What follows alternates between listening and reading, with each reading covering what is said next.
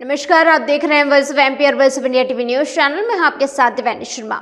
उदयपुर में मोहनलाल सुखाड़िया यूनिवर्सिटी में दीक्षांत समारोह आयोजित किया गया, जिसमें देश की राष्ट्रपति द्रौपदी मुर्मू और पंजाब के राज्यपाल गुलाब चंद कटारिया ने मुख्य अतिथि के रूप में शिरकत की। इस अवसर पर मास्टर डिग्री के टॉपर छात्रों को गोल्ड मेडल से सम्मानित किया गया। इस समारोह में नीमच के नया गाँव की छात्रा कुमारी कीर्ति मोरवार को एम बिज़नेस एडमिनिस्ट्रेशन में 2023 का यूनिवर्सिटी टॉपर बनने पर तीन गोल्ड मेडल प्रदान किए गए। यह उपलब्धि न केवल कीर्ति के लिए, बल्कि पूरे क्षेत्र और गाँव के लिए गर्व का विषय है। Professor Vijay Simali memorial gold medal तथा CB memorial sponsored medal certificate भी प्रदान किया जा रहा है।